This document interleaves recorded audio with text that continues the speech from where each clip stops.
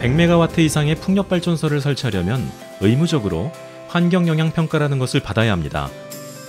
사업 시행으로 영향을 받게 되는 자연 생태 환경 분야의 다양한 항목들을 조사하는 건데요.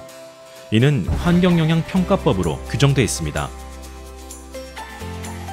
기존에는 이 과정이 유역환경청장 또는 지방환경청장에게 위임돼 있었고 2021년 8월 환경영향평가법 시행령 일부 개정과 함께 현재는 환경부에서 일괄적으로 수행하고 있습니다. 보다 전문적이고 일관성이 있고 효율적인 평가 수행으로 사업의 안전성을 높이고 있는 것이죠. 이와 함께 2014년 9월에 제정한 육상풍력 개발사업 환경성 평가 지침을 지속적으로 개정해 환경평가의 예측 가능성과 합리성을 높이고 있습니다. 2022년 1월에 개정된 지침에서는 그간 불확실성이 컸던 생태자연도 1등급 권역이 불가피하게 풍력사업 대상지에 포함되는 경우를 구체적으로 제시해 사업자가 생태 영향을 최소화하는 대안을 마련하도록 유도하기도 했습니다.